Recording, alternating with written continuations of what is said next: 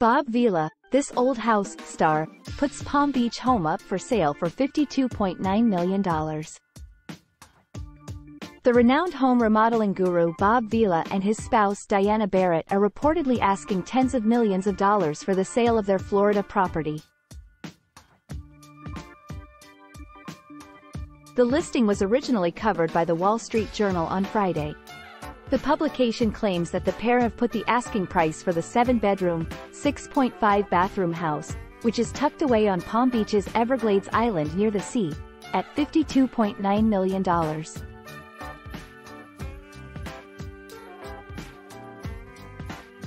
The journal stated that the home had been advertised for them by PB Realty Advisors and Chris Vila, the couple's son who works as a real estate agent.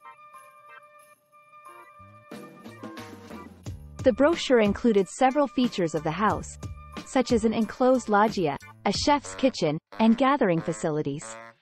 A butler's pantry and a two-car garage are among the additional features, Dental moldings and original cypress wall paneling with reeded casings were mentioned in the item description.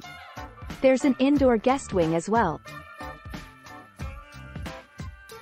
Built in the 1940s, the house has about 175 feet of waterfront and, according to its listing, unparalleled views across the Lake Worth Lagoon from several of the rooms. The Intracoastal Waterway is connected to the Lake Worth Lagoon, Around 3,000 miles of the canal encircle the Atlantic coast. According to the ad, the property totals 0.84 acres and has a lovely landscape. It has a spa and pool as well.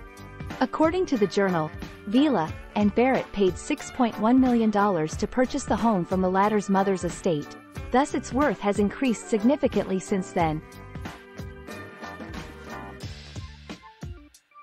According to the listing, it was renovated and added to around the middle of the 2000s. Barrett stated to the Journal that they kept many of the aspects of the state because they wanted to keep it feeling very old Florida.